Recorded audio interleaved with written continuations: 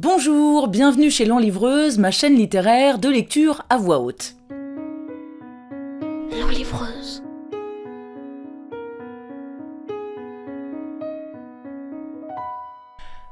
Quand on pense confinement en littérature, on dérive assez vite vers emprisonnement.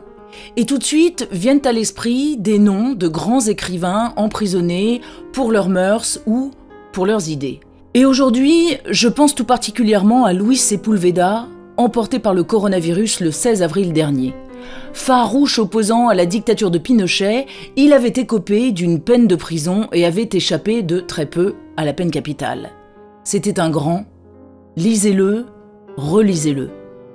Sur son emprisonnement, voici ce qu'il écrivait dans Le Neveu d'Amérique. J'ai toujours évité d'évoquer la prison pendant la dictature au Chili. J'ai évité d'en parler parce que la vie m'ayant toujours paru passionnante et digne d'être vécue jusqu'au dernier soupir, évoquer un accident aussi obscène me semblait une façon méprisable de l'insulter. Et puis parce que trop de livres de témoignages, la plupart très mauvais, malheureusement, ont été écrits sur le sujet. Ce qui est sûr, c'est qu'il ne faisait certainement pas allusion à la ballade de la geôle de Reading écrite par Oscar Wilde. Le 25 mai 1895, Oscar Wilde, né à Dublin en 1854, romancier du fameux Portrait de Dorian Gray, auteur de pièces de théâtre à succès comme Le mari idéal ou L'importance d'être constant, est admiré du tout Londres et poursuivi par le père de son amant à cause de son homosexualité.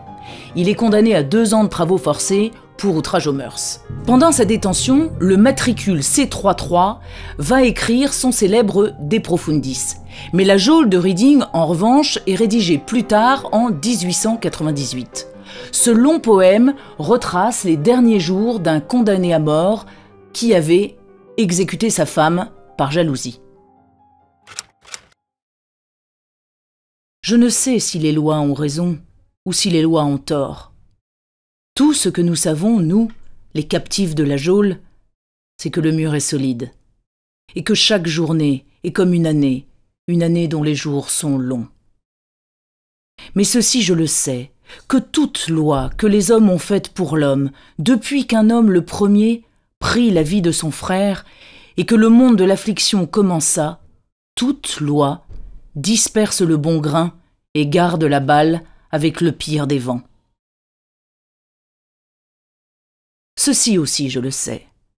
Et combien sage, si chacun pouvait le savoir de même, que chaque prison que bâtissent les hommes est bâtie avec les briques de l'infamie, et fermée de barreaux, de peur que Christ ne voie comment les hommes mutilent leurs frères. Avec des barreaux, ils défigurent la lune gracieuse, et ils aveuglent le bon soleil. Et ils font bien de cacher leur enfer, car il s'y passe des choses que ni fils de Dieu, ni fils de l'homme jamais ne devrait voir.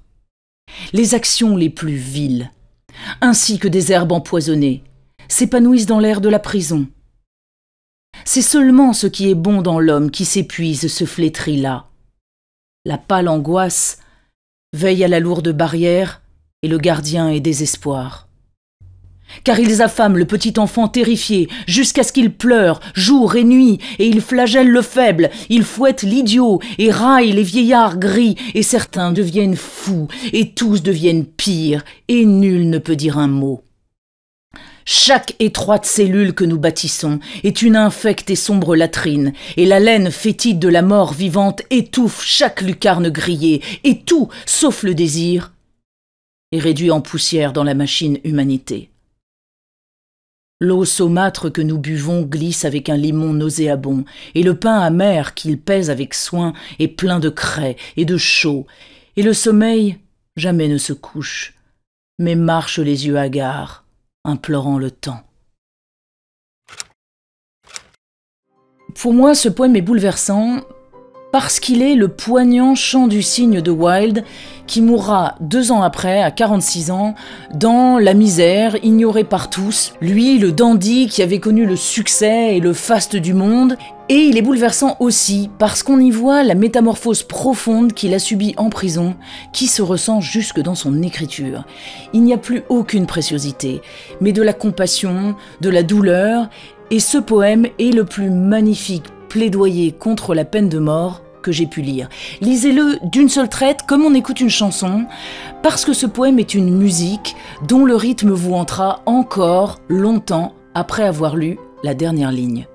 Si vous avez aimé ce poème, vous pouvez le trouver en entier en lien sous la vidéo et si vous en voulez une lecture intégrale à voix haute, n'hésitez pas, je peux le faire pour vous à une seule condition, enfin plutôt deux conditions, un pouce qui se lève et un clic sur le rectangle rouge.